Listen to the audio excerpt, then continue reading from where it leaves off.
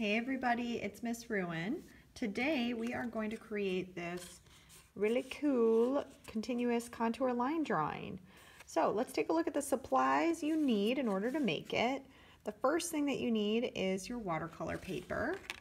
You also need tissue paper, watercolor paint, your brush and water, palette paper, or if you have a palette, even just a yogurt cap will work just fine. You need a pencil, a Sharpie, your phone or some pictures, a printer, piece of printer paper or any other drawing paper that you have that you can just draw on. And you need a scissors. So let's go ahead. I have all my supplies out in front of me, so I'm gonna get started. So one of the first things that you should just know is what a continuous contour line drawing is, and it's kind of what it sounds like. So it's a line drawing that's done where you're only using one line. You never lift the pencil off the paper. So let me show you a couple other examples here. We'll look at these in just a little bit, but you can see these are, they look kind of funky and that's what's fun about them. They look more abstract.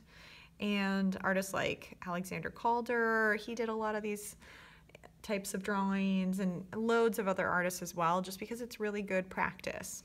So you can see that there's just one line. I could probably follow this through the entire thing and it would just be one line. So you never remove your pencil off the paper.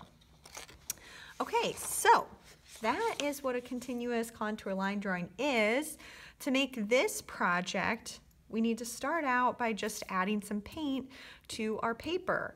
So what we're gonna do, you want to grab your paintbrush and you wanna have your palette paper out, okay? Keep my example. And I have my watercolors. I'm using my concentrated watercolors here. And you could also just do it with regular watercolors too. So we're gonna do the wet into wet method where we start out by applying water first to our paper. So you just wanna paint some blobs. And you can't see mine probably, but if you tip it to the side, you know, in the right light, you can see it. Doesn't really matter where. You could do perfect shapes or circles if you want to do something like that. Doesn't really matter. Let's see, how many do I have? I have about five. And I want them to reach the edge of my paper. Okay, great. I have about seven. So now that I've, I've painted on my blobs with water, I'm gonna go ahead and grab my paint. So I'm just first gonna add some paint to my palette. Remember with these concentrated watercolors, you always wanna add water to your paint on your palette. And then once you have some of that, you can start kind of playing around. So I like to just add a little bit first. I'm not going to do red in all of these, but some just to kind of create a balance. So I'm going to wash my brush out now that I'm done with that color. Maybe some yellow. And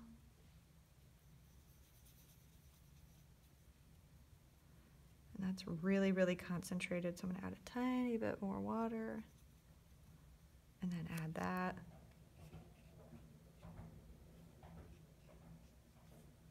And kind of swirl it around.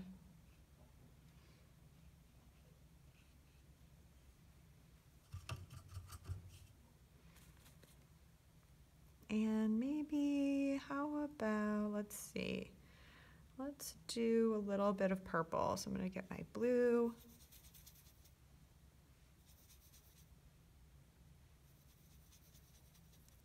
And mix it.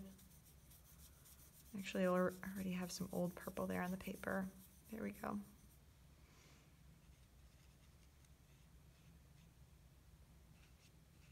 You can just go in like this too. If it starts to dry up, you can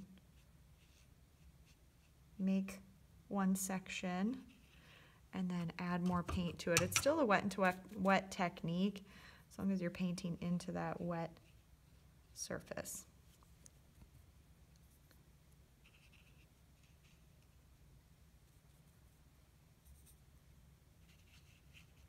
I'm gonna use a lot of bright colors because my tissue paper today is pink. So I want it to be really bright so it shines through. It's already to be dark. There. Okay, so that is the wet and wet technique. The first step is just creating these blobs. What you want to do now is set it aside and let it dry. So it's exactly what I'm to do here, okay? The next step of creating this lovely abstract continuous contour line drawing is to get your images out and start drawing them using the continuous contour line drawing method. So since I am using my phone to record this video, I just found some pictures of random people in magazines, okay? But I, what you should do is choose pictures of people that you know. And you wanna also grab that, oh, it's a little wet, but that's fine. You wanna also grab your piece of white paper that was just lying around and a pencil. So when you are drawing a continuous contour line drawing, because you can't pick up the pencil, you're gonna have a lot of these kind of curly cues trying to go over lines to get to the next location. So for example, I'll just show you, I'm, I'm gonna start with his eyebrow, this kid's eyebrow, and kind of come down to his nose and then see how I can connect to the mouth and then maybe do a swirly for the chin before I get up to the hair. Okay, so let me show you what that might look like.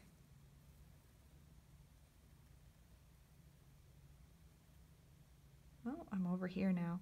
So see, I could kind of overlap those lines. You want to look more at the image than your paper.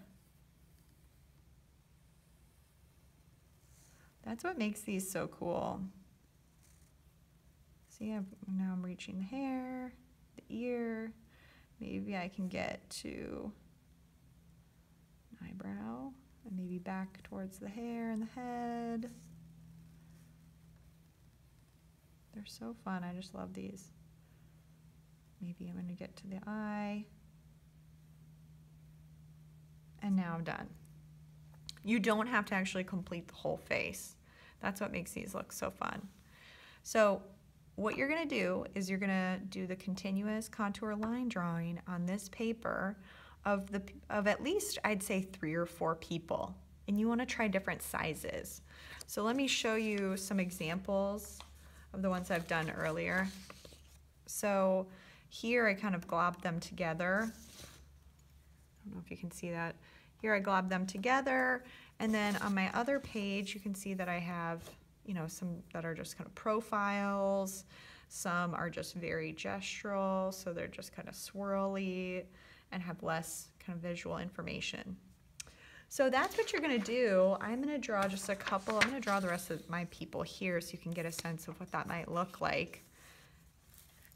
You wanna also try using different profiles as well. So this is straight on, this is looking to the right, this person's looking to the left. It's gonna make your drawings a little bit more interesting.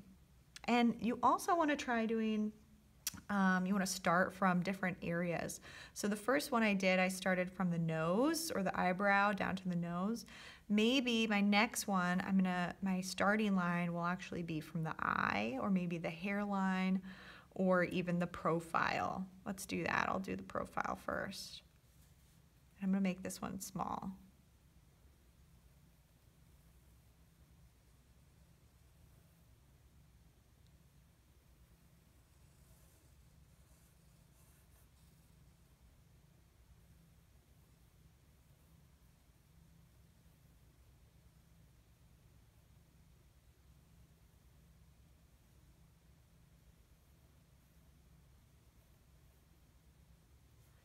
There we go. There's another one. I could have actually maybe uh, continued and drawn the rest of the hair out, maybe something like this.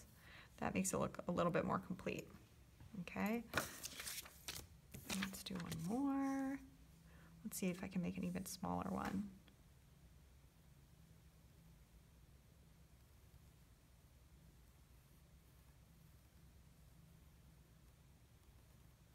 This one's kind of funky. Oh, it's turning gigantic. But this is what's really nice. You just kind of going and having fun with it. Oh, look, he's kind of got a Elvis hairdo. Let's come back around. Let's see if I can try to get down to where the eyes might be. There we go. Okay, so I have about three. I'm gonna stop there so I can move on to the next step with you all. But you want probably four so that you have some choices. Now I'm gonna, the next step can be done in several ways. So I'm gonna show you two different versions.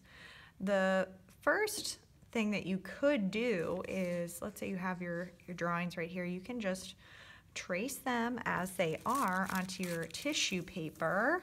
So you want to cut out your tissue paper so it's the same size as the piece that, or your piece of paper with your, excuse me, with your circle and your blobs of paint. And um, after you cut it out, then you're going to trace these contour line drawings onto the tissue paper. And obviously you can see that they're, I need to squish them together because these won't fit. So one, I'm gonna show you that method where you just kind of smush them all together. So I'm gonna, I might even cut that one off a little bit. And I'm just gonna trace with my pencil all those lines. And be careful so you don't do what I just did. I just popped a hole in it. You're gonna take your time.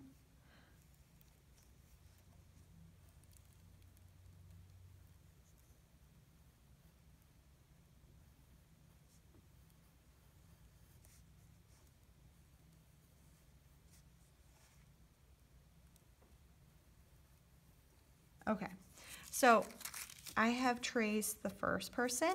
Now I'm going to try to figure out how I can place my next person, so I still have space for the third.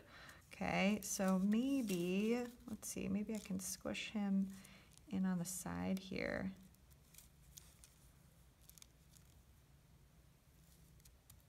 There we go. And it's okay if it goes off the edge because that just makes it look more interesting.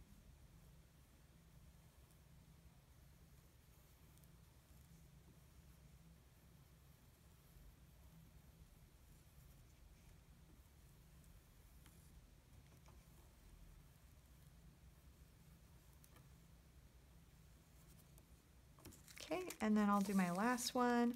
Let's see. So I'm going to pull it over here so you can kind of see where I put these two. And I don't want my drawings to overlap the separate portraits. I want them to, they can, they can get to the edge, just like I did here where I read this lady's hair is touching this guy's hair. So you can get to that point, but you don't want to overlap those lines. Okay, all right, so now you can kind of see what I mean here. So by not overlapping those lines, it doesn't look too confusing. So that is one method. Another method is kind of doing what I did here, where you can connect them line by line, where you choose one image that's very flowy and you can connect them. So let me show you how you do that. So here's the face that I thought was really nice in one of my earlier examples. And so I traced it just like I did with those others. And then I created an, a connector line. And my connector line could have been maybe this hair. Could be this hair right here. Or I could you know, create a fake connector line down here. And then that connector line is gonna connect to the next face. And then I would just tr trace that same face again.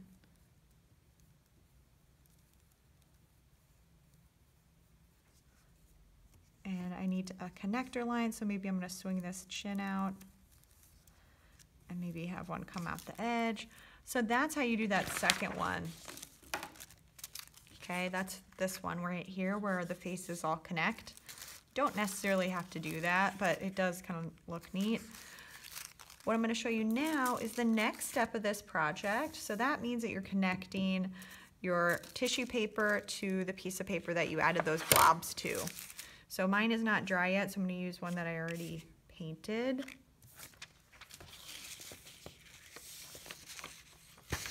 And all you're gonna do is very gently glue the back side, oopsies, there goes my glue.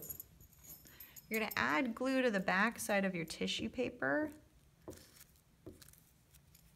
You can add, actually you can add it to this. Sometimes it'll reconstitute the paint, which means just to re-wet it and it'll kind of bleed or smear. If you don't notice it right away, then you can go ahead and put the glue right on the, on the paper. And then you just wanna add your image. Make sure you don't have any wrinkles. And then just let that dry for a minute. And now we get to do the fun part and we're gonna trace with the Sharpie, okay? So again, wait for it to dry, otherwise your Sharpie will bleed. And in the meantime, you can get, while you wait for that to dry, go ahead and grab your palette again because we're gonna add a few extra details with our paint at the very, very end. Okay. All right, so that looks pretty good. Now I'm gonna trace with my Sharpie. Might be hard to see, so take your time. And you're just tracing all of those pencil lines so that they pop.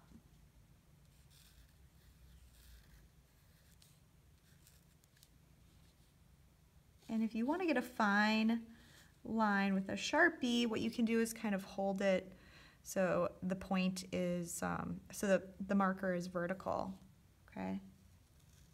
And barely touching the paper.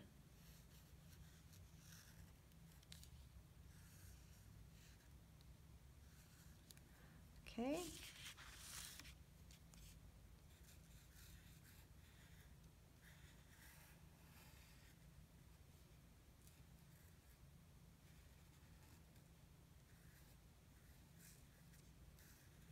If some of the lines are hard to see, you can reference that white paper that you started on. I'm just kind of tipping my head a little bit so I can see the other side. Okay.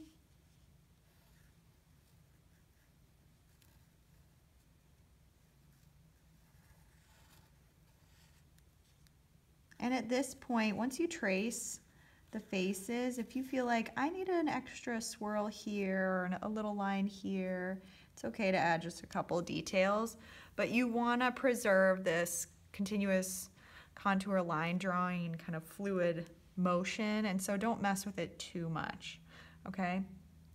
But maybe, you know, if there's actually, if this line connects, then I need to fix that, or maybe I want, you know, the ear maybe I need to like do a swirly for the bottom of the earlobe or something.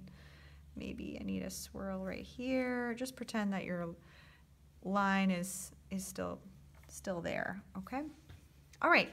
So at this point, you can tell like as the paper started drying, you can start to see those those blobs in the background. It just adds a little bit of extra to your paper. Now you get to add some details. So you can add some paint just like I did here. So I don't know if you can see, check out this example. So this is the same process, different profiles, different colored tissue paper. It's a light purple. And then you're, this is what you're doing right here. You're gonna fill in some of those closed shapes with paint. So that's the last, very, very last step. So I'm gonna grab some of the brighter colors and maybe make it a little bit more concentrated. And let's see, maybe in this guy's ear and the hair. You can tell it's already just, it's adding a lot more to it and it makes it look like maybe there's a highlight or a shadow. Makes some of those spaces look more realistic and easy to understand what it is. Add a little extra here. Maybe some blue to make it more defined.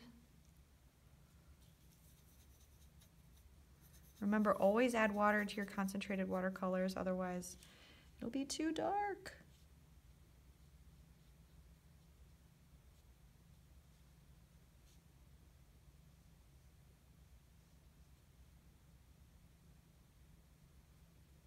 Okay.